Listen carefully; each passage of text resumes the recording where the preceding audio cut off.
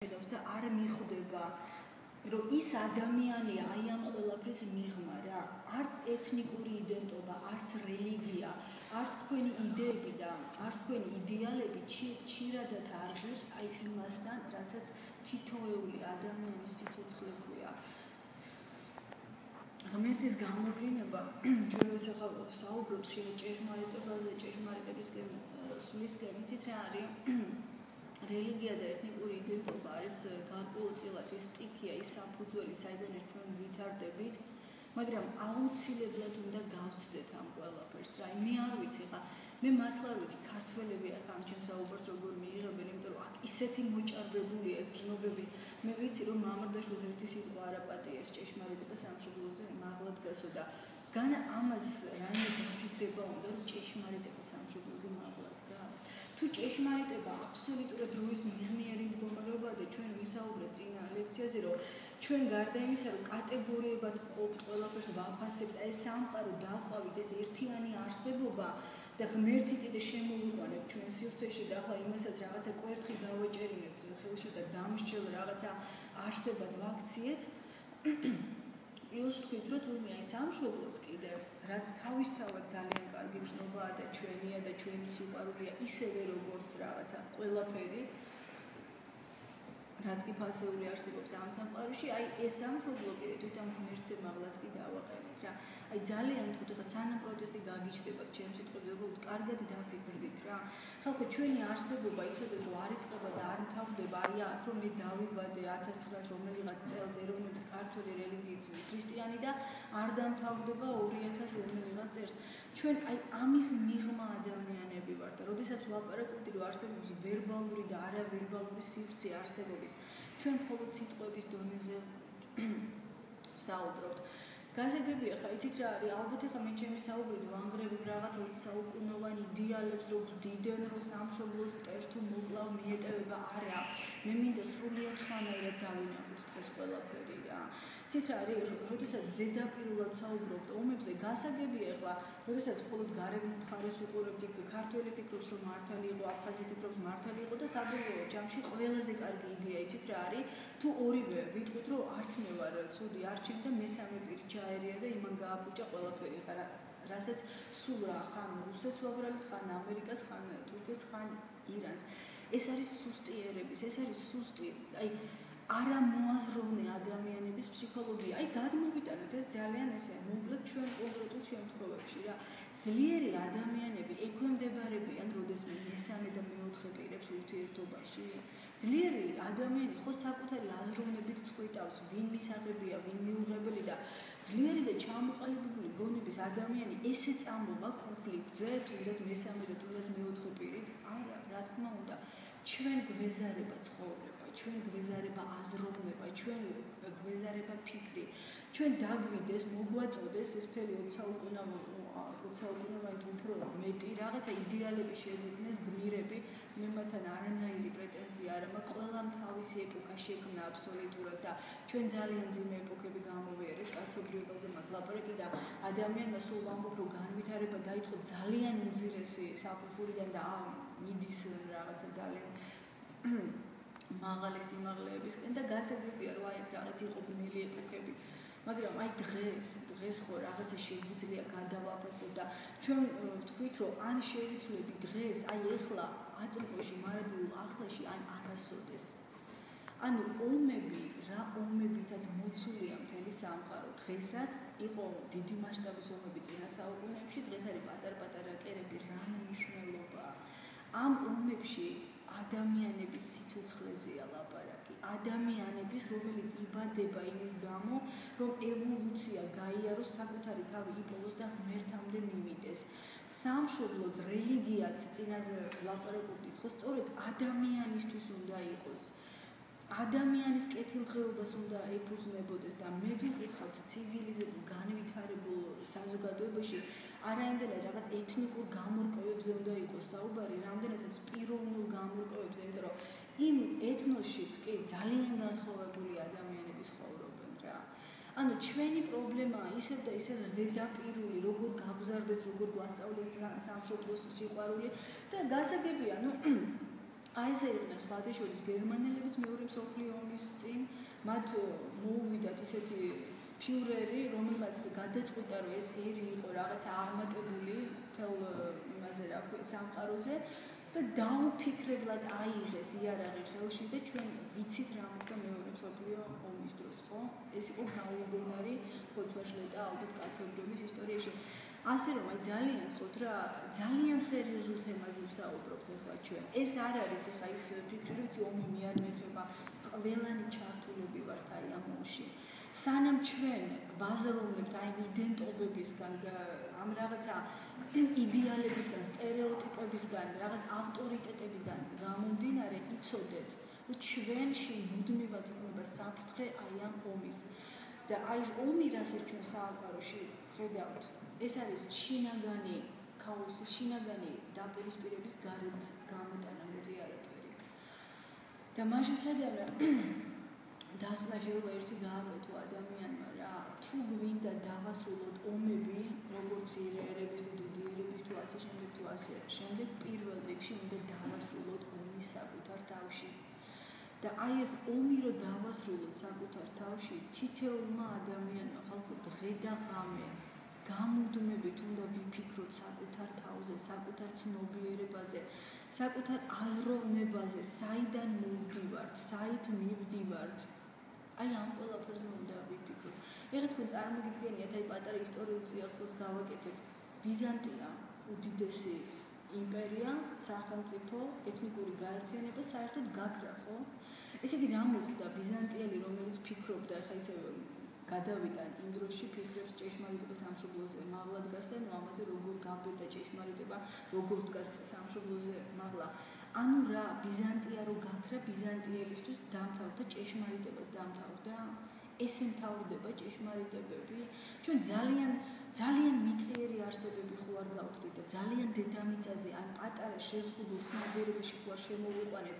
აი ეს რაღაცა უსასრულო აი ეს უზარმაზარი რაღაცა უდიდესი და სადაც სიყვარულია სადაც სიმშვიდეა აი ეს განცდები ეს რეალური არსებობა ძალიან ხوار შემოვიყვანეთ დედამიწაზე, ძალიან ხوار დავაპატარავთ ყველაფერზე. ნახეთ როგორი მესიანისტური იდეები არსებობს რა.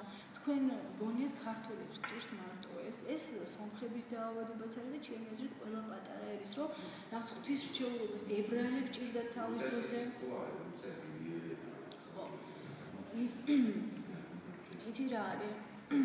ის რომ აი ესეთი დიდი იმპერიები როგორც რუსეთია და ესეთ აგრესიული პოლიტიკას ეწევა ახლა არ მიყვარს თემი შეურაცხყოფა მივაყენო ძალიან დიდი პრობლემაა იქაური ადამიანების ხო რუსეთი არ არის გააყენებული რაღაცა ესეთი რუსეთი არის შემდგარი ადამიანებისგან ადამიანების ცნობიერებისგან და როდესაც სახელმწიფო აი ესეთი ტიპის არის იცოდეთ რომ იქ არის აზროვნების ჩვენშიც არის აზროვნების პრობლემა, მაგრამ მე ხა ამ წუთას ვერ ვილაპარაკებ რუსეთის იმპერიაზე, ამერიკაზე, რაღაცა ჩინელებზე და ფრანგებზე.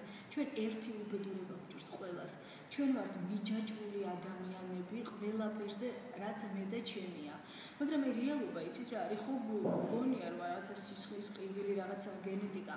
მე რო ჩემი ხუთი წლის შვილი ხვალ ესპანეთში წავიყვანო საცხოვრებლად, იქ გავზარდო ესპანურ სკოლაში. ის გაიზრდება ტიპიური ესპანელი რა. აბსოლუტურად მიიღებს იქაურ ტრადიციებს, იქაურ კულტურას და ილაპარაკებს როგორც მე ესპანელი. ეხლა არ მინდა რაღაც უარყოფით იმაში გამომიდეს, გასაგებია რომ უნდა გვიყვარდეს, უნდა მოქმედებდეთ, უნდა ვაშენებდეთ ეკონომიკურად, უნდა ვაძლიერებდეთ და საერთოდ აი დააკვირდით რა, სადაც ყველაზე მეტად ნაციონალიზმის ლაპარაკობენ და ნაციონალისტურ იდენტობებზე რეალურად რა რთულია იქ თითოეული ადამიანის ბედი? რა რთულია იქ თითოეული ადამიანის რეალიზაცია? ანუ ეს არის სპეკულაციები, მეტი არაფერი რა. შეხედეთ აი ევროპას იმ ქვეყნებს, რომლებმაც აი ვიცით რომ გადალახეს ეს რაღაცა შეძლებს დაგვარეთ, მოდი ესე ვიტყვით, რომ აბსოლუტურ პრობლემებისთვის არავისთვის არ მოწევია, ხო არსებობს რაღაცა ფასეულობები კონსულში ცდილობენ დაიცვან. ანუ რატომ გვიჭირს ესე ძალიან სხვა ადამიანების მიღება, სხვა ერების მიღება? აი ამ ფსიქოლოგების ზიანე ჩვენ წინაზე ვსაუბრობდით, რომ როცა ჩვენ ადამიანს ხვდებით და ვიწყებთ საუბარს, ნიშნულოვანი ხო არის ჩვენი ცნობიერების თანაფარდობა, რამდენად უგებთ ერთმანეთს? ანუ თუ გაუგებთ თუ გავიაზრებთ ერთმანეთს და მივიღებთ ერთად ვიქნებით თუ არა და გავივლეთ ახლა ჩვეულებრივ მე ჩემი გზით ის დავისხდით ხო? ახლა 7 მილიარდი ადამიანი ყველა ერთ გზაზე ვერ იქნება. მაგრამ აი როდესაც ეს ოჯახების შექმნის თემა ახლა ეს კიდე ძალიან მოდი ქართულს ალბათ არ მოეწონება როდესაც ქართულს ხო არის ადამიანი ან სომეხი ან თეთრი რა ვიცი თუნდაც არა რელიგიური რა აი რამხელა აგრესია ამ ყველაფერში და რამხელა ისტერია ამ ყველაფერში. ანუ ისე ვიცი თქმა მინდა ხო ადამიანი ყველგან დაკარგულია რა. ჩვენი უბედურება ის არის რომ ადამიანი არის სადღაც უბედურებაში და წინ არის ყველაფერი რა. ნაციონალიზმი და რელიგია და ოღონდ რელიგიაში ყველას დაავიწყდა იდეა რა იყო ამ რელიგიის და ღმერთი სიყვარულია.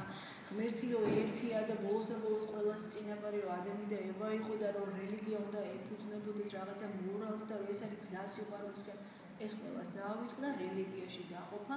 ეხლა ნაციონალისტური ხაზები, მეკართული შენჯინელის ფრანგი, ну расистული რო ერთვება, ეს საერთოდ კატასტროფაა და ну ისეთ საშინელებებს ვისმენ წინათაობის ადამიანებისგან.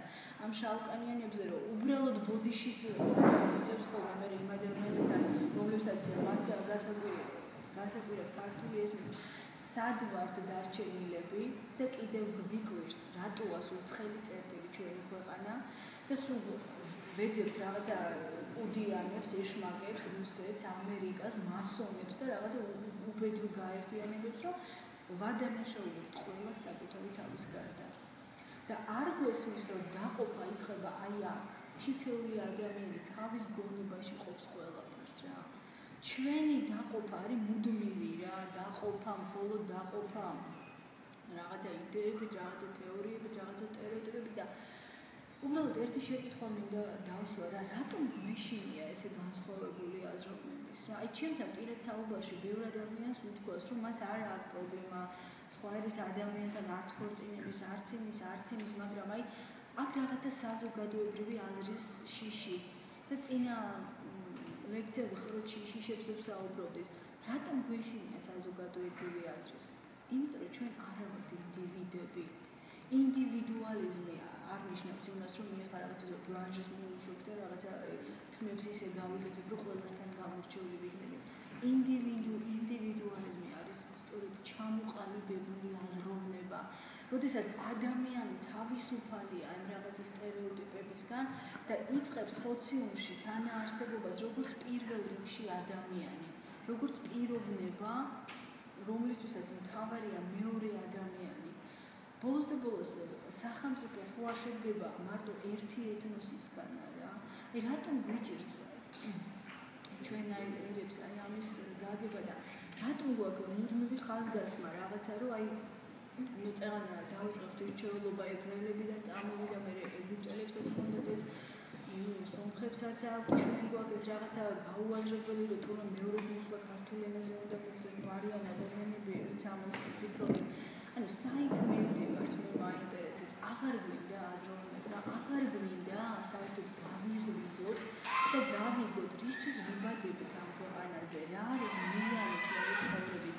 საით მიდის ჩვენი აზროვნება ბოლოს და ბოლოს ვკვდებით და მე სადღაც მივდივართ. არაფერი არ გვაინტერესებს. მარტო ის არის რომ ბავშვობაში რაღაცები დაგვეზეპირებინეს ეს უნდა გიყვარდეს ეს უნდა გძულდეს. ეს არის ჩვენი ცხოვრება.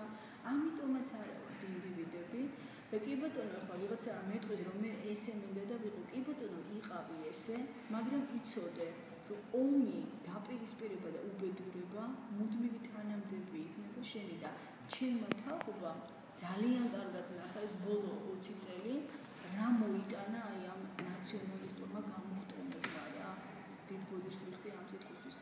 ჩემმა თაობამ საკუთარ თავზე ნახა ეგ და მე თუ ჩემთვის თუ დღეს რაღაცეებმა ფასი დაკარგა ცხოვრებაში აი მადლობა ღმერთს ამისათვის რა რომ ძალიან რეალურად დავინახე ყველაფერი რა მე მივხვდი რომ მე ვცხოვრობ ქვეყანაში სადაც ყველაფერის ფასი აქვს სადაც ყველაფერს ფასი აქვს ადამიანის გარდა. სადაც გერბი, დროშა, რა ვიცი, ხატები, გუმბათები, ძეგლები, царსული, რაღაცა რაღაც ჩვენ ისე ვიყოთ, რომ царსულში ვიყურებით, ყველაფერი ფასეულია. ხატინა? წინაპრები, ხო. ყველაფერი ფასეულია იმ ადამიანის გარდა, რომელიც აი ეხლა, აი ამ წუთას დაიბადა და ჩვენ ვთქვით, რომ ჩვენ ვცხოვრობთ მარადილ აწეყოში. და ის ხვადაშორის მამადაშვილი ამბობდა 90-იან წლებში 90-იანში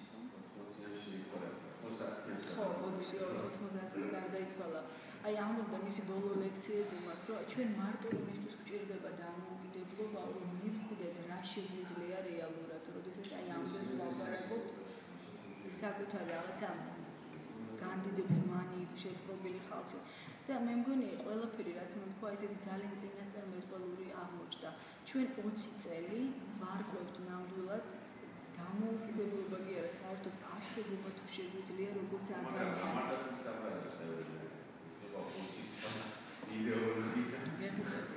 ხო, დღესაც შემოვიდა ჩემთან ერთი ქალბატონი ოთახში და მამადაშვილის წიგნი რომ დაინახა, აი ხმარა მომაღებში რაისა დღეში ჩამონდო სიტყვა ვეღარ თქვი უბრალოდ გავიდა მე ეს მაგალითიან რა.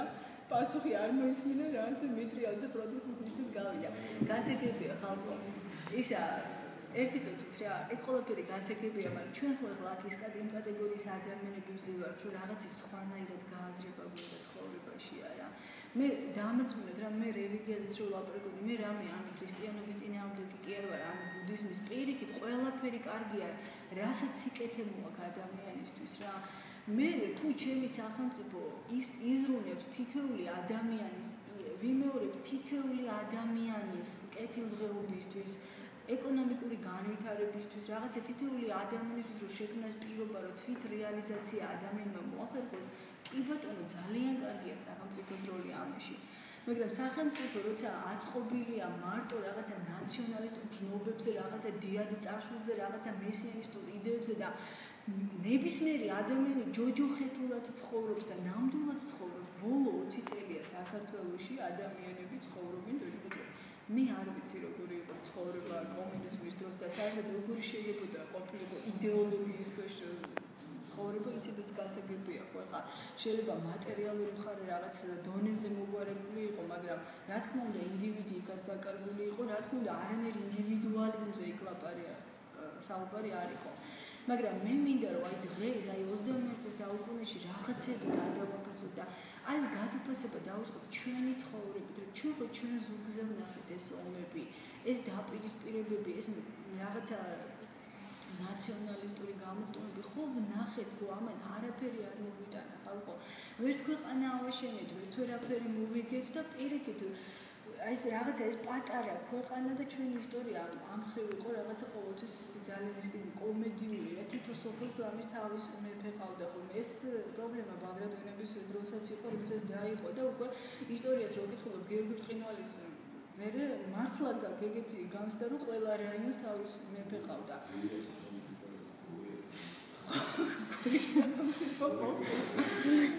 საინტერესოა ხო და აი აქედან მინდა ამოვიდეთ რა მიხვეწებით ხალხო რა მოდით განსხვავებულად გადავაფასოთ ჩვენი ისტორია. იმიტომ კი არა რომ ეხლა რაღაცა გარედან ამას გქონდა ჩვენ სულ გვეშინია რომ რაღაცა მოგვახვიო რატომ გვეშინია ესე? რატომ გვინდა ჩვენზე ამ კარგი იფიქრონ ან ცუდი იფიქრონ? რატომ გვინდა რომ ახლა ამერიკა შეუყვარდეთ მე ინგლისში შეუყვარდეთ? რატომ გვინდა რომ ესეთი სუსტი ადამიანები ვიყოთ? რომ წამოგვიყიდოს ვიღაცა ზოგზე და გვატრიოს ეს არ არის შეურაცხყოფელი. რატომ? ჩვენ ხო სულ ლაპარაკობთ რომ ნიჭიერი ხალხი ვართ მოდით რომ მოვახერხოთ რაღაცა რეალიზაცია ხო ეს რეალიზაცია დავიწყოთ ცნობიერების ტრანსფორმაციით რა. შეუძლებელია ესეთი სამყარო მოცემული ქვეყანა შეუძლებელია რომ ესე არაფერი არ გამოდიოდეს.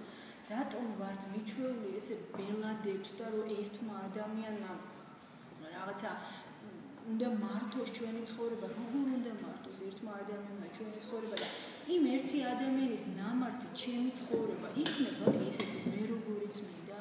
ანუ ინდივიდი ახაც იკარგება, მაგრამ ხო არ მოგიყვართ უფრო სათავეში რომ ვაფშე არც გვესმის რა ინდივიდუალიზმი რა.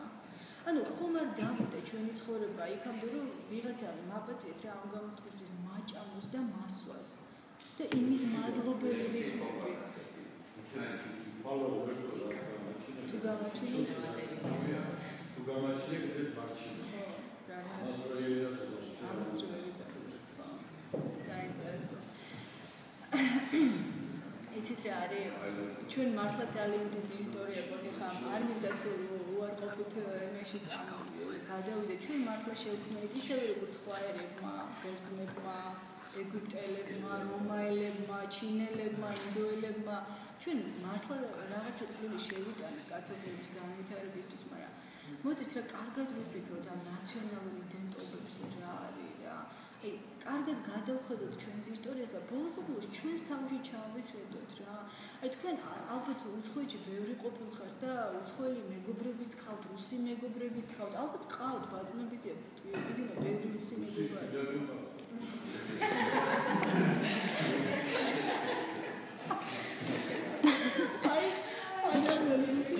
ყავთ ბოლოს და ბოლოს და ვაქციით ხო ხო აღარ აი არ დავივალეთ ამ კონფლიქტში ცხოვრება რუსებს არ ველაპარაკებით აფხაზებს არ ველაპარაკებით ისინი არ ველაპარაკებიან ამ ნიშნულს ხო ამ დაპირისპირებაში არ შეიძლება ერთი მხარე იყოს დამნაშავე და მეორე მხარე წარმოიდგინეთ ადამიანს რუსი შვილები ყავს და ვერ შედის საკუთარი შვილები 21 საათი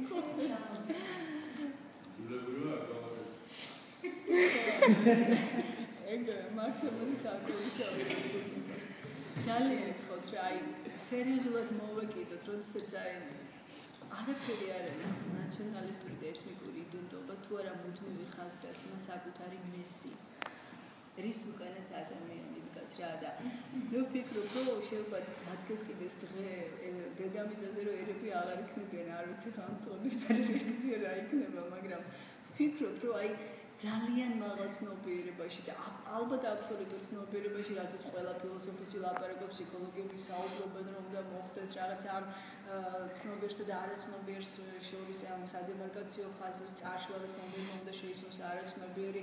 და ფილოსოფოსები საუბრობენ, რომ აი რაღაცა სუბიექტ ობიექტად გახლეჩვეში ამ გახლეჩვამ და გადალახოს თავის თავი და აბსოლუტურ ცნობიერებაში ავიდეს რელიგია ლაპარაკობს რომ ჯოჯუხეთი უნდა დაიძლიოს აბსოლუტურად სამოთხი. წარმოგიდგენიათ ახლა ამ სამოთხეში და ამ აბსოლუტურ იდენტობაში რომ ერებმა იარსებოს და რელიგიებმა იარსებოს. ხო წარმოგიდგენია ღმერთი ხო არანაირი დაყოფა არ არის სინამდვილეში რა ღმერთი ხო ჩვენ აბსოლუტურად ყველანი ერთნი ვართ. თუ მართლა გჯერათ ეხლა რომ ზეციური საქართველოს არსებობს და ზეციური საფრანგეთი არსებობს და ამასინაც წავიკითხე ერთ-ერთი სახეობის იმაზე ეწირა რომ ალბათ იქაც თეატრები არსებობს, თორე ესეთი ესეთი დიდი არტისტებიო სადმიდიანო, ანუ იქო თუ არსებობს და ხელფასი იგი. რა ძალიან. აი, იმის საუბრობ, რომ ჩვენ ჩვენ ძალიან ზედაპირულად მოაზროვნე ადამიანები ვართ. და მე ჩვენ ცხოვრებას დავარქმევდი ესე, რომ ჩვენ გვეზარება ცხოვრება, ჩვენ გვეზარება აზროვნება. ჩვენ გვინდა რომ ეს ომები, ეს დაპირისპირება, ეს ქაოსი, ეს ეკონომიკური გაჭირვება ვიღაცა მოაგვაროს, ვიღაცა გამოჩნდეს, ანუ ან მესია, ხა მორწმუნე ადამიანები მესიას ელოდებიან, რომლებიდან ჩამოვა და საბლო დააყოვებს და ქართულები ფიქრობენ რომ ეს იქნება საქართველოს სამოთხეში, სომხები ფიქრობენ რომ ეს იქნება სასომხეთში. ცოტა გვარი არის. აქედან გამომდინარე რა ვიცი რა ხა გვენიმება მაგრამ თუ გადავხედავთ ამ თავს ამ დაპირისპირებას ამ მომებს ამ უბედურებას რა ჩვენ თავს ტრიალებს მე ძალიან მეჭმებარება რომ სასაცილოდ ხონდეს საქმე და სასაცილოდ თემა იყოს და რა ვიცი რა ესეთი აღმოსავლური გამოთქმა იყო უფლისწული და წამდეს შენი სიდიადისო მაგრამ მე რომ მესე შემხდეს და მითხრეს მითხრეს სხვა ჯობი ხარ რომ მეტყოდი რომ შენ მესი არ ყოფილხარო არ არსებობს ხალხო ადამიანებში არანაირი დაყოფა და ამერწმუნდათ რა. ეგ იმას იცოდა პანკ კულტურაზე სერიოზულად 80 ქვეყანა მოუძიდა იმას რომ ეროვნება არ არსებობს. აბსოლუტურად ვეთო. ამ დიდი ინფორმაცია მიიღო ადამიანებს სხვა სხვა ქვეყნებში და დააკვირდა. ცირთა შეიძლება კოლექტიური იუნგი ამბობდა რომ აი კოლექტიური არაცნობიერში ადამიანები აბსოლუტურად არ განსხვავდებიან ერთმანეთისგან და ამას ამბობდა აი მთელი თავისი დაკვირვებებით ათასობით ადამიანზე ხა ეს ფსიქოანალიტიკოსი იყო. და ამას ვამბობ აი სწორედ ათასობით ადამიანის ფსიქიკაზე დაკვირვებით. შემდეგ შეიძლება რომ უბადებით ჩვენ ვსაუბრობთ რომ ჩვენი გონება განპირობებულია სწავლით რელიგიით რაღაცა იდეებით იდეალებით ცოდნით კულტურა არ არის მარტო ერთი ეთნოსის ხო ტრადიცია, შემდეგ ყველა ქალაქს თავისი ტრადიცია, ყველა ოჯახს თავისი ტრადიცია და როგორ გვიყვარს ნახე საერთოდ ჩემი მეობა და რაღაცა ხაზგასმა ჩემს მეობას გავაკეთე. აი ეს მეობა, ხალხო, უბედურება ყველაფერში ვიცოდეთ, ეხლა ბლა, სულ ვაზუსტებ ხოლმე აქ ფსიქოლოგების არსებობს მე ერთიანი ადამიანის ცენტრი, ეს არის მდგომარეობა ქრისტე და ამაზე მე არ ვსაუბრობ. აი ჩვენი მე შეზღუდული ცნობიერების ცენტრი, ეს არის იუნგის განსაზღვრული ტერმინები. აი ეს მეუბა იცოდეთ რომ ხას უსვავს ამ ჩვენს ამბიციებს, ამ ჩვენს ემოციებს და ცრემლები რო წამოგივათ ხოლმე რაღაცა ესე გულზე ბრახაბრუხი როა რაღაცა იმის რომ მოისმენ ეს ემოცია ხალხო ამას სიყვარულთან არანაირი კავშირი არ აქვს რა.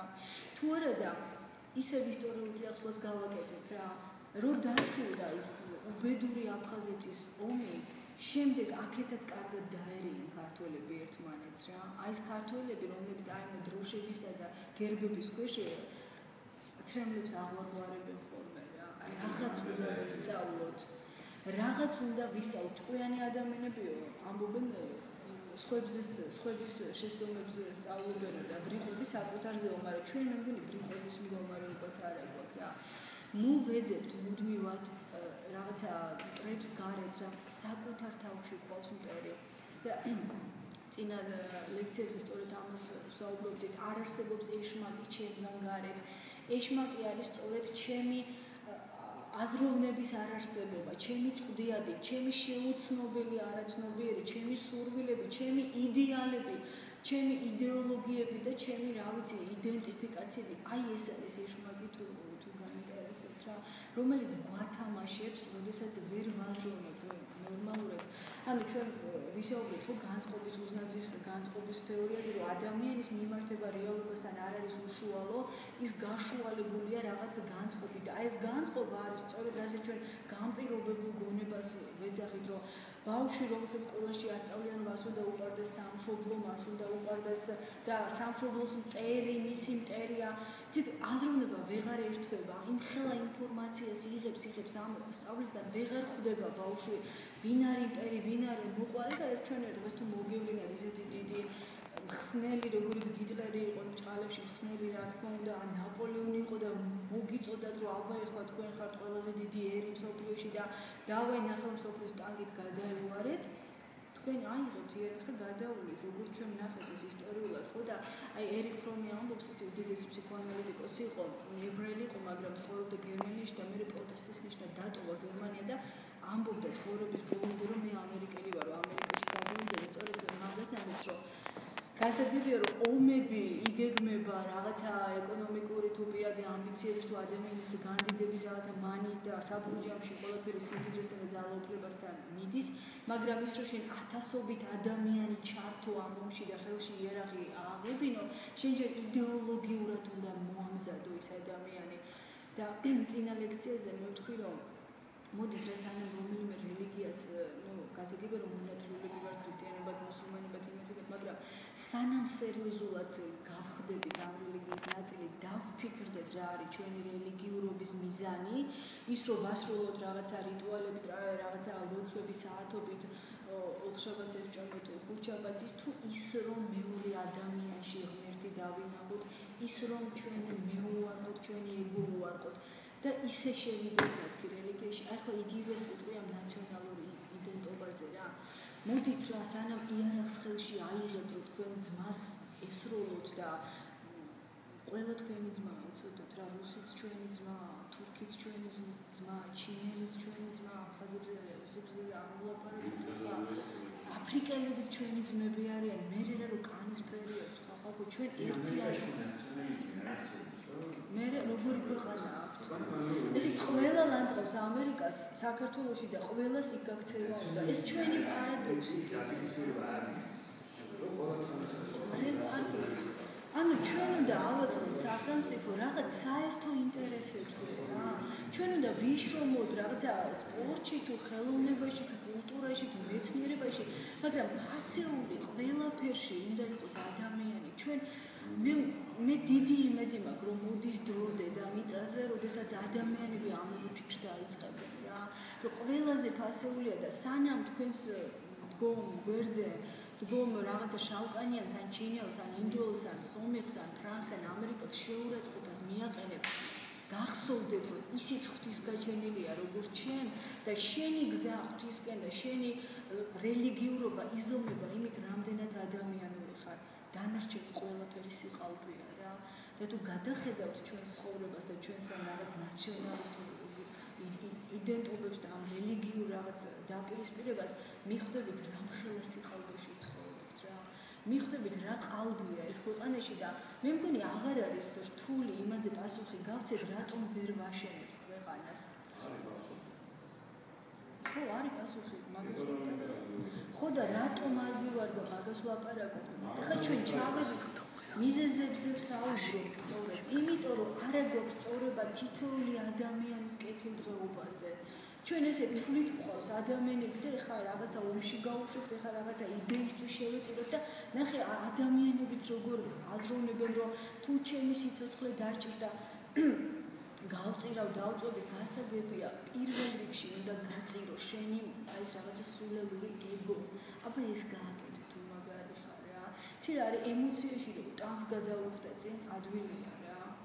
მაგრამ აბა აი ეს ყოველდღიური ცხოვრებაში და სხვადასხვა ვივეკანანდა ასაკ ესეთი გენიალური ფრაზე რომ ადამიანებს დააკვირდით რომ როგორები არიანო ყოველდღიურ ცხოვრებაში რომ სიდიადე ადამიანის იზომება იმითო როგორია ის ყოველდღიურ ცხოვრებაში რომ გმირათო ბრიხუც და სულელიც შეიძლება ერთხელ და ლაჩარიც კი აქციოს რაღაცა მომენტი ცხოვრებაში. რა მოთხრობა ეს სოკრატე როგორ გახდა იმედი რეხს აი მაგალითად როგორ ვახ შეფრთხები აბსოლუტური შეშინებული სოკრატე გამოიქცა ჯერმიტები და აბსოლუტურად გაუაზრებულ გახდა კი. და მასეთი გაუაზრებლა ძალიან ბევრი ბევრ ადამიანს ვეძახი ჩვენ გმირებს და ჩვენ საერთოდ ხო სიტყვებზე არ ვფიქრობთ არაფერს რა. ჩვენ აი სხვადასხვის ამ გმირებს ჩვენ ძალიან შეგნებულად ვქნით რომ იდეალები ალბი იდეალები შეუქმნათ ბავშვობით ეს გავზარდოთ ანუ ჩვენთვის იცით რა არის ხავარი არა ინდივიდუალური აზროვნება დაიწყოს ადამიანმა რამაც რეალურად ჯანსაღი საზოგადოება და ჯანსაღი სახელმწიფო უნდა შექმნას. პროგრესული სახელმწიფო მხოლოდ და მხოლოდ შეიძლება მოაზროვნე ადამიანისგან შედგეს. ხალხო ისევ თუ ისევ და ისევ თუ გინდათ აი ბოლო გაჩერება ფულია ლაპარაკობენ თუ გვინდა რომ ეკონომიკურად ძლიერი ხალხი ვიყოთ და ჩვენი რაღაცა რეალიზაცია მოვახერხეთ ისევ და ისევ მივდივართ საღად მოაზროვნე რეალიზებულ ადამიანებთან. სადაც იზომება ეს ყველაფერი ადამიანების ცნობიერებით ადამიანების უნარით ადამიანების ნიჭით და ბოლოს და ბოლოს ხელოვნებაში ჩვენ ვიცით რომ არანაირი ნაციონალური და რელიგიური ხაზები არ არის სპორტმა გააერთიანა ადამიანები და მე ძალიან მივესალმები ამას რომ აი არის რაღაცა ესეთი დარგები სადაც გააერთიანა რაღაცა ხაზები წაეშალა. მაგრამ ესეც ზედაპირულია რა მაინც უნდა მოხდეს ძალიან კონკრეტული თითოეულმა ადამიანმა საკუთარი აზროვნებით, საკუთარ ფიქრებზე, საკუთარ ქმედებებზე აი ძალიან მთხოთ რა ძალიან მარტივად დააკვირდით რა აზროვნებთ თავში, როდესაც განსხვავებული ეროვნების ადამიანებს ან ტელევიზორში ხედავთ მას მათ გამოსვლებს, აი ხშირად ინდოელებზე ლაპარაკობენ, ჩინელებზე, რომლებიც ჩამოდიან. აი უბრალოდ ერთი წუთი დააკვირდით ხოლმე რა ფიქრები მოვდით თავში რა. როდესაც ესეთი ვიგებთ რომ მიწებს ყიდულობენ განსხვავებული ადამიანები, ის მეორე საკითხია რომ საკუთრება და კანონმა ძალიან ყველაფერი დაარეგულიროს, მაგრამ ჩვენ ხო ძალიან გვინდა რომ ფული რომ ქონდეს წავალი ხო იტალიაში სახსრულები, საფრანგეთში სახსრულები, ეს ხო ძალიან მინდა და ვთვლი რომ ეს ძალიან კარგი ქვეყანაა რომ მე ამის საშუალებას მაძლევს. აბა რა გინდა შენ წახვიდე ყველგან, შენთვის გახსნილი იყოს კარები და შენ ყველას ჩაუყრე. ეგ მეორე თემა.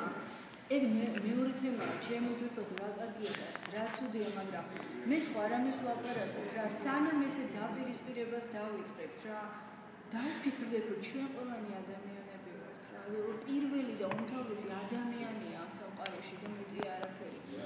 აი აქედან მინდოდა, აქედან მინდოდა და ну რაღაცა მარაზმამდე მიდის ეს ჩვენი რაღაცა ეს მესიანისტური იდეები იმას აღარ ვჯერდებით რომ რაღაცა ნაციონალისტური რაღაცა იდეები გვაქვს და რომ თავარი ქართულია, სომეხი თუ თავარი სომეხია, ის ფრანგი თუ თავარი ფრანგია. ამას აღარ ჯერდები და აღარ ღმერთამდე გვინდა ავიყვანოთ ეს ყველაფერი. საით მიყვარს ჩვენი აზროვნება, საით მიყვარს ჩვენი ცხოვრება.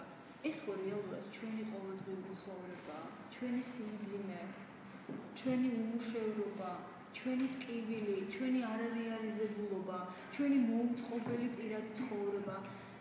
გუთაში ლექცია ჩავატარე და ერთი ახალგაზრდა გოგონა მეუბნებოდა პირად საუბარში, რომ აა მიყვარს ერთი ბიჭი, არ არის ქართველიო და ძალიან დიდი პროტესტი მაქვს ოჯახიდანო და ეხლა ვიღაცას ეცინება ამაზე და შეუასაკოვან ადამიანებს საერთოდ ეცინება და ახალგაზრდების ესეთ გზნობებზე, მაგრამ იმ გოგონას თვალებში რო ჩავიხედე, ნამდვილად ჯოჯოხიც გავდა მისი ცხოვრება. ეხლა გასაგებია რომ იმას აუხსენი რო ცნობიერება ყველაფერი და რაღაცა სპანერით უნდა შეხედოს და უნდა გადალახოს გასაგებია, მაგრამ ამ წუთას ხო ეს ადამიანი რისთვის იტანჯება? მე მე ვერ გავიგე რისთვის იტანჯებოდა ეს ადამიანი. ე ვიბერალი ვიზუალურია ხო, მე მას ეს ვუთხარი, რომ ინდივიდუალური მაგრამ არა, ეს ინდივიდუალურია, მაგრამ მე ის თქმა მინდა, იცით რომ ხო შეიძლება ჩვენს უ გონია რომ მომდევნო თაობამ რაღაც უნდა შეცვალოს რა.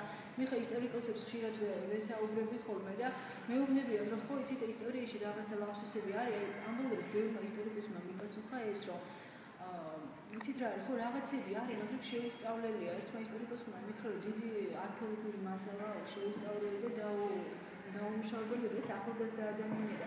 კი, მაგრამ ხარ ვინ უნდა შეისწავლოს მაგრამ ხო რა ვიცი შეისწავლიანო. აი ეს არის ჩვენი ცხოვრება, ქართველის ცხოვრება ეს არის. ახლა უნდა გამოიყენოს ვიღაცა მოვა, უნდა იყოს აქტიურობა, გესმის დაინტერესება უნდა იყოს ამათი, გესმის მარტივი არ არის თვალხა ესე გამოიყოს. ხალხო უნდა იყოს ჩართულობა თითოეული ადამიანის, ჩვენ ყველაფერში ესე ვართ. აშენდება ქვეყანა, ვიღაცა მოვა, ბედნიერი დღე გათენდება, არაფერი არ გათენდება, სანამ გონებაში არ გათენდება რა. სანამ აი ესე ვიქნებით განპირობებული და სანამ ყოველი ჩვენი ნაციონალისტური რელიგიური გამოხტომა, რასაც დააპირისპირება მოაქვს, ხაზგასმა მესი იცოდე მე მესის მესი მე მესი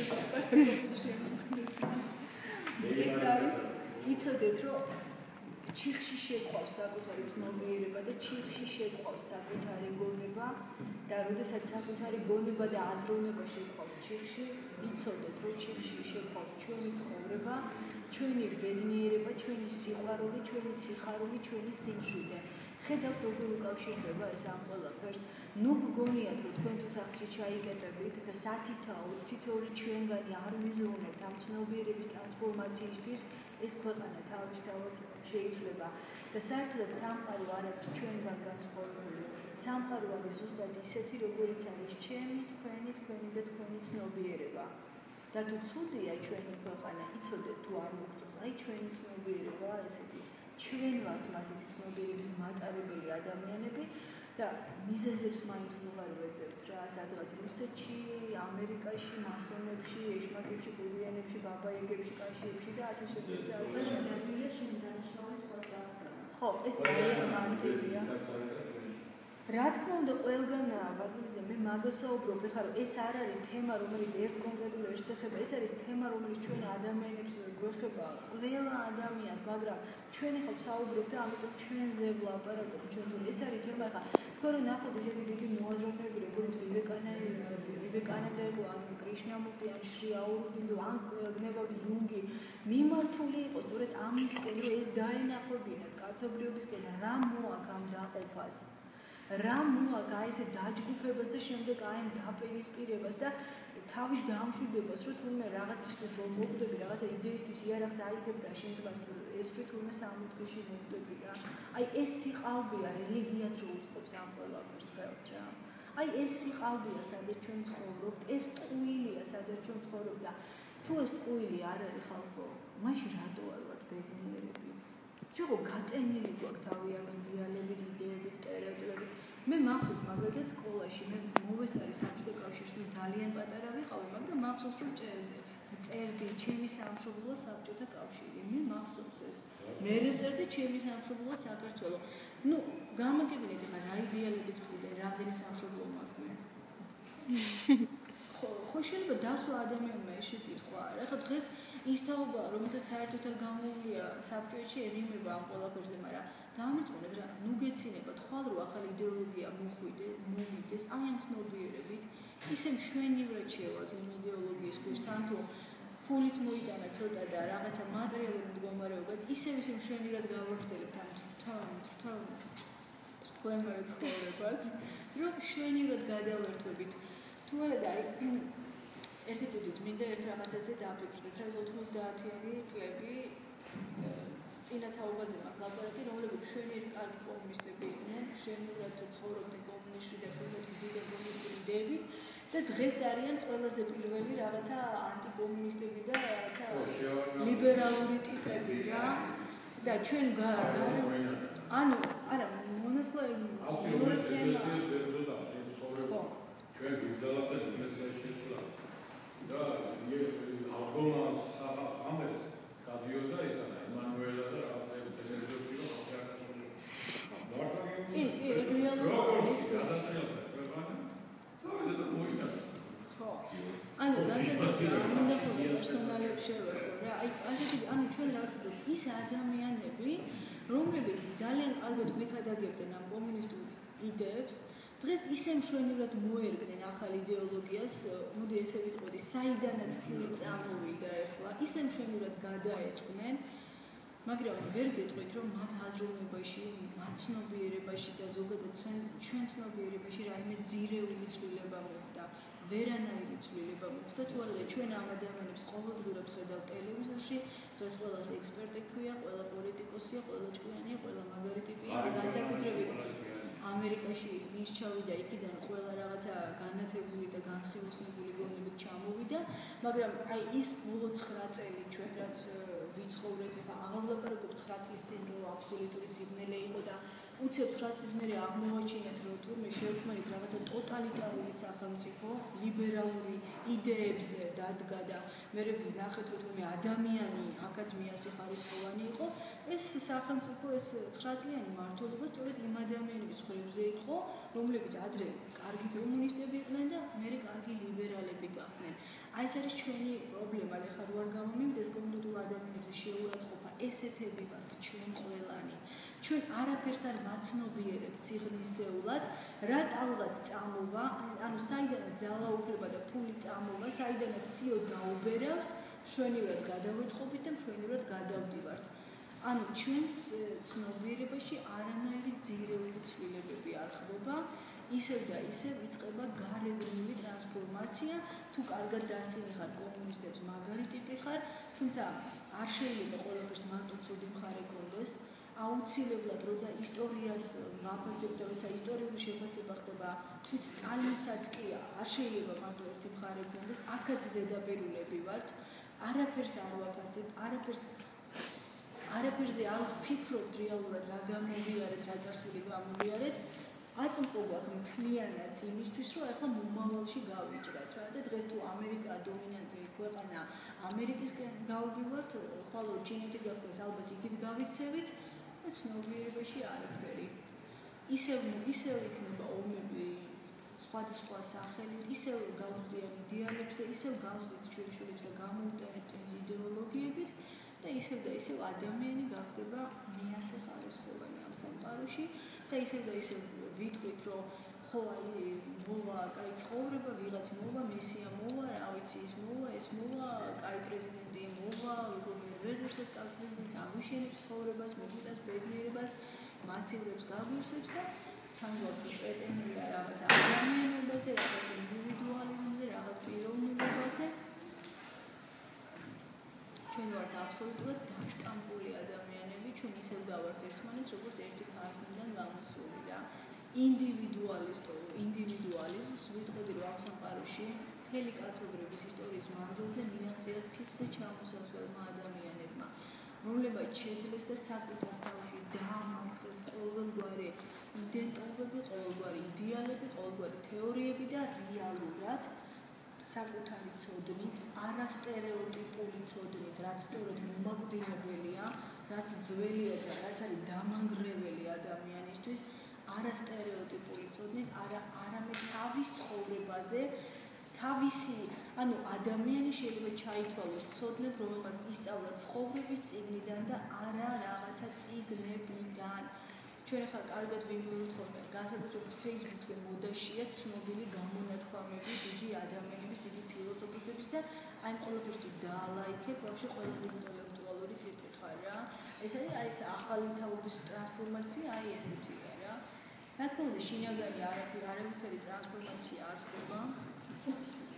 და ბევრი როა ვილაპარაკო მოკლედ რა, თუ გვინდა რომ სამყარო შეიცვალოს, თუ გვინდა რომ ამ სამყაროში ცხოვრება ნამდვილად შეიცვალოს, იცოდეთ რომ ყველა საკუთარი ცნობიერება უნდა შევცვალოთ. და საკუთარი ცნობიერების ცვლილება ხდება მხოლოდ და მხოლოდ დაკვირვებით საკუთარ გონებაში მიმდინარე პროცესებზე. როგორია ჩვენი დამოკიდებულება ისეთ დიად იდეალებთან, როგორიც არის სამშობლო, რელიგია, ნივთებთან, მეგობრებთან, ფულთან, შვილებთან, რებთან, ძოლებთან, რა ვიცი, ყველაფერთან, ბუნებასთან, სამყაროსთან. როგორ ფიგურირებს და როგორ დომინირებს ყველა ჩვენს ქმედებაში მე და ჩემი, მე და ჩემი, მარტო მე და მარტო ჩემი და როგორ ავარ ძალიან მამაბაშის საკუთრების ფრაზა საბჭოურად დაპატარავებული ადამიანებია. ჩვენ მარტო საბჭოურად დაპატარავებული არა ადამიანები არა ვართ. ჩვენ ზოგადად ვართ ძალიან ეგომდ დაპატარავებული ადამიანები რა. მარტო იმას ხედავ მე რა მინდა და თან ეს როგორი გათვალით. ყველა საინტერესო პრინციპი ეკონომიკას რა ხა მე ეკონომიკაში ვერ ვერტოვი არა ვარ ეკონომისტი, მაგრამ ზუსტად რას მივხვდი იცი რომ ადამიანები, რომლებსაც შორს გათვლა აქვთ და ფიქრობენ, რომ მე ეს ხუზი პოზიცია უნდა დავიცვა, მან ჩემი პოზიცია უნდა დაიცვას, ანუ ერთმანეთის ინტერესები უნდა დავიცვათ და ერთმანეთის ბიზნეს და განვითარებას ხელი უნდა შეუწყოთ, უკეთეს ქვეყნებს აშენებენ, ანუ სადაც არის უარყოფა ამესი და ადამიანები, რომლებიც ფიქრობენ, რომ ხა მე მქონდეს და რაში მაინტერესებს ყველაზე რა იქნება და ის როგორ იქნება, აი რეალურად ქვეყანას ვერ აშენებენ. ესეთი ადამიანები და თუნდაც სულ აი წმინდა წყლის მატერიალისტები რო ვიყოთ ამჯერ არც ღმერთის არაფერს და გამოგიწყოთ ეს ყველაფერი მაშინაც კი თუ გვინდა რომ ნორმალური თანაარსებობა გქონდეს სოციუმში ეგო მაინც უნდა უარყოთ რა. თუ დაუშვათ მიზანი არ არის ჩვენი დიადის სიკეთე და სინათლე და რაღაც ეგეთი ფრაზები მე და ჩემი თუ მაინც უკან დახეული არ არის და გონებით თუ ამას ვერ მოვერიეთ ვერც სოციუმში მოვახერხებთ ურთიერთობებს, ვერც ეკონომიკურად ამოშენებთ ქვეყანას და ვერც პოლიტიკურად და საერთოდაც არავინ არ ვიქნებით რა და მოდივად ვისაუბრეთ იმაზე. აი ხა ევროპელმა პოლიტიკოსმა ჩვენზე კარგი თქვა და რა ბედნიერები ვართ? რუსმა ჩვენზე ცუდი თქვა რატო თქვა? რაში გვაინტერესებს ან რუსები რას ფიქრობენ ჩვენზე ან ევროპელები? მოდით რა გავხდეთ ისეთი ადამიანები? ისეთი ქვეყანა გავაკეთოთ რომ ვიყოთ აბსოლუტურად თანასწორი ყოველთვის რატომ უნდა ვიყოთ მუდმივად ვიღაცის მოწყალებაზე დამოკიდებული ადამიანები? ეს პირად ცხოვრებაში ხო ძალიან რთულია ვისაც ვიღაცის მოწყალებაზე აი ესეთი სამოწყენოა ოდესაც ერი მუდმივად ვიღაცის მოწყალებაზე და ჩახო სოფელში და ადამიანი გეუბნება მე რა შეიძლება მე ერთი საწყალი ადამიანი ვარ რასაც მეუბნებიან ვიმეორებ ხო და დარჩები ასეთ საწყალ ადამიანად რა. შენ იმისთვის მოგეცა აზროვნება შენ მთელი ცხოვრებაში მითავის რეალიზაცია უნდა მოხერხო და არავინ ლანგარზე არაფერს არ მოგართმევს ამ სამყაროში. აზროვნება და ხელები და ფრეხები და გონება გაქვს ცოტა დაფიქრდი რა ცოტა სოციალური ტიპი იყავი რა. ნუ გონია რომ მარტო შენთვის არის სამყარო გაჩენილი რა. 7 მილიარდი ადამიანი ცხოვრობს და ყველას რაღაც უნდა ამ სამყაროში ცოტა აკონტროლე შენი სურვილები, აკონტროლე შენი ამბიციები. საერთოდაც დააკვირდი, სადამდე მიყავ ხარ ამ ამბიციას და როგორ ანტისოციალური ტიპად გაყალიბებს. სად მიყავ ხარ მე ამას? ანტისოციალურობიდან ნაბიჯები დეპრესიისკენ, ფსიქოზისკენ, შიზოფრენიისკენ. ყველაფერი, ყველაფერში საიდანაც არ უნდა დავიწყოთ ლაპარაკი რელიგია იქნება ნაციონალიზმი იქნება შიში. რა ვიცი, ყველაფერი საბოლოოდ მივდივართ ერთი რამისკენ. უარყოფ საკუთარი ეგოიზმი, საკუთარი ეგოცენტრულობა და ვიყოთ უბრალოდ უბრალოდ ისეთები ვიყოთ როგორიც ვართ რა. იცით რა მშვენიერია ცხოვრება, როდესაც საკუთარ თავს იღებ ისეც როგორიც ხარ. არა ვარ დაუშვათ ყველაზე ლამაზი, არა ვარ ყველაზე ჭკვიანი, არა ვარ ყველაზე ნიჭიერი, არა ვარ პრეზიდენტი, არა ვარ, რა ვიცი, ნომერ პირველი სპორტსმენი, მე მე რა რომ ვიღაცას ქეირათმები აქვს, ვიღაცას შაუთმები აქვს, ვიღაცას ლამაზი ცხვირი აქვს, ვიღაცას ულამაზო. მე რა რომ ვიღაცა ფრანგია და ვიღაცა ქართულია, მე რა ამას რა უშულება. ეს სახელები ხო ჩვენ დავარქვით ყველაფერს. და თუ დავივიწყებთ რომ საერთოდ არსებობს ესეთი სახელები და ყოფიერებას აი აღმოსავლეთსა გენიალურად რა ერთიანობაში არის მთელი ყოფიერება რა. მთელი სამყარო ჩემშია და მე ვარ ამ სამყაროში. როდესაც ლაპარაკობ რომ ჩემთან არის ღმერთი, იცით ეს რა ხმა სიტყვებია? მაშინ შენთან უნდა იყოს სიყვარული, შენთან უნდა იყოს სიმშვიდე. ხარ მშვიდი? ხარ ბედნიერი? დილას რო იხვიძებ, გიხარია ცხოვრება? არ გიხარია. ძალიან ცუდად ხარ, ძალიან დამძიმებული ხარ და აღარ იცი როგორ გაიქცე საკუთარ თავს. იცით რატო? საკუთარ ეგოზე მიჯაჭვული ადამიანები ვართ. ჩვენთვის ბედნიერება ის იცით რა არის? ჩემი სურვილის ასრულება. რა თუ არ ასრულდა ჩემი სურვილი, მე ვარ უბედური ადამიანი. მაგრამ სინამდვილეში ჩვენ არ მახსოვს რომელ ლექციაზე ვისაუბრეთ ბედნიერების აი ბავშვის მდგომარეობაზე, უმიზეზო ბედნიერებაზე. აი ჩემმა შვილმა სულ არ იცის თუ არის ქართველი, არც იცის რომ ქრისტიანია, არც იცის რომ საერთოდ ამერიკა არსებობს ამგვარაზე რუსეთი, არაფერი არ იცის. ძალიან ბედნიერია რა, ბედნიერია. იმიტომ რომ უხარია გათენება, ბედნიერება ჩიტებს რომ ბედნიერია ჩიტებს რომ დაინახავს და ყველაზე ბედნიერია ადამიანებთან ურთიერთობაში. ყველაზე ბედნიერია სხვა ბავშვებთან ურთიერთობაში.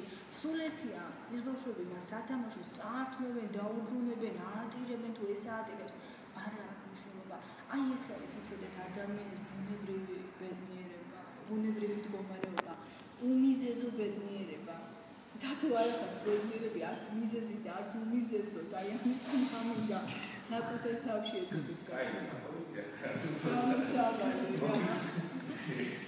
თორე მუდმივად ვიქნები და ჩვენს თქვი წინა ლექციაზე რომ ეს აღდგომის მისტერია და ჯვართისა და გოლგოთის მისტერია ეს არ არის რაღაც ერთხელ და სამუდამოდ მოცემული და დასრულებული. ეს არის მარადიული მისტერია, რომელიც აი განამდვილებას ესწრაფის ყველა ადამიანში.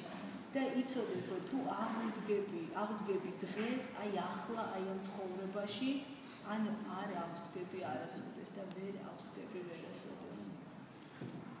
აი ეს არის ჩვენი რეალობა. რა თქმა უნდა, პირიქით